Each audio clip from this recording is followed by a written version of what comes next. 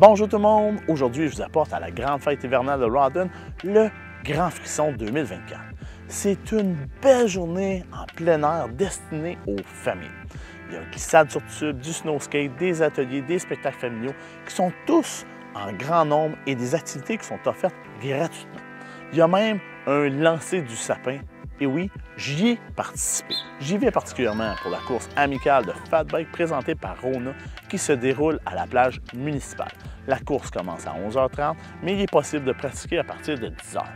La météo a joué un tour aux organisateurs puisqu'il fait au-dessus de 3 degrés Celsius depuis trois jours. On aura donc une grosse gestion des conditions à faire lors de la course. La course est d'ailleurs un tournoi par élimination.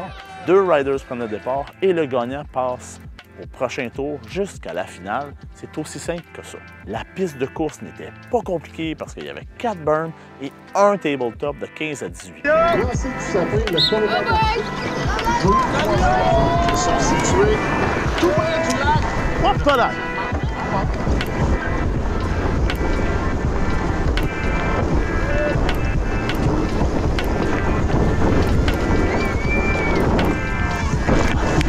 C'est encore une fois une autre victoire pour Jacob Berry du Party Lap Podcast. J'espère que vous avez apprécié ce petit reportage. J'ai eu beaucoup de plaisir malgré mon élimination rapide, ce qui ne me surprend pas. L'ambiance était vraiment tripante et prendre le départ avec des gens qui nous encouragent ainsi, c'est toujours le fun. Bravo à la ville de Rawdon, les organisateurs, les bénévoles ainsi que les collaborateurs. Croire sur les sentiers de Fat du Québec. Cheers!